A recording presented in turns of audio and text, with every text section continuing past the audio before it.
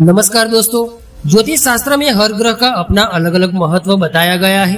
कहते हैं कि हर ग्रह एक निश्चित अवधि पूरी होने के बाद एक राशि से दूसरी राशि में प्रवेश करता है। सभी ग्रहों में चंद्रमा की अवधि सबसे कम होती है। बता दें कि चंद्रमा ढाई दिन में राशि परिवर्तन कर लेते हैं। ऐसे में 10 जुलाई को चंद्रमा मेष राशि में प्रवेश करेंगे। बता दें कि मेष राशि में गुरु पहले से ही विराजमान है और चंद्रमा के साथ मिलकर युति बनाएँगे।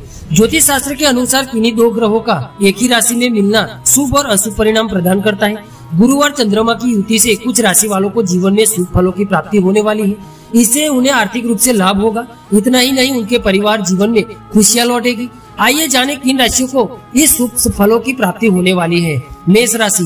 ज्योतिष शास्त्र के अनुसार मेष राशि वालों पर दोनों ग्रहों की युति का अच्छा प्रभाव देखने को मिलेगा। इतना ही नहीं, इस दौरान सभी गतिविधियों में सुधार नज़र आएगा।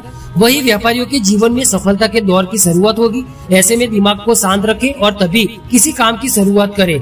कर्क राशि। बता दें कि चंद्र का मेष राशि में प्रवेश और साथ की युति के कर्क राशि वालों को भी अनुकूल परिणाम प्राप्त होंगे। इस समय खूब आर्थिक लाभ होगा, कमाई के नए नए रास्ते खुलेंगे। इस समय परिवार के सदस्यों का विशेष सहयोग प्राप्त होगा। माना जा रहा है कि इस समय रिलेशनशिप से जुड़ी टेंशन दूर होगी। धनु राशि ज्योतिष शास्त्र के अनुसार राशि में बनने वाली दो ग्रहों की युति का धनु राशि के जातकों के जीवन पर विशेष प्रभाव देखने को मिलेगा।